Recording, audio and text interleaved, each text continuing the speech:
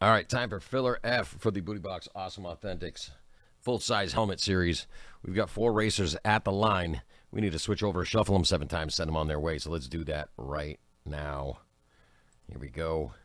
We're going to do that shuffling.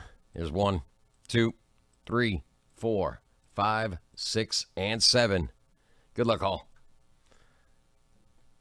see who's going to be in. Break is coming up right after this. This is filler F. Looking for a two team spot with a win here.